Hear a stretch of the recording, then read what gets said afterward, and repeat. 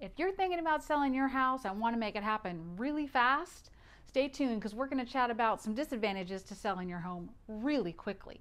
Whether you're looking to move in nine days or 90, we're here to help and we're getting to it right now.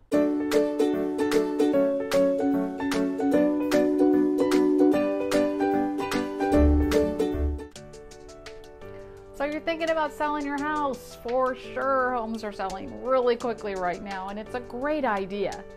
I am here to let you know that selling your house super quickly may not be the best idea.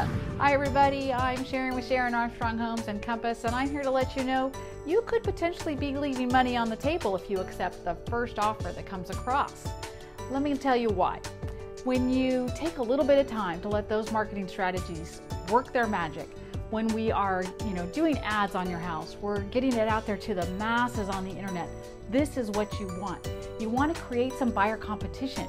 When you build a little healthy competition between buyers, then you have some, you know, some more opportunity to get what you want as far as the price, or maybe it's the terms. Maybe you need a little extra time in the house after you close.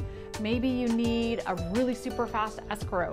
Uh, you never know. Everybody's story is different, uh, and I'm here to help you figure out what your priorities are so we can put a plan together and move forward from there. Thanks so much for listening. I hope you have a great rest of your day.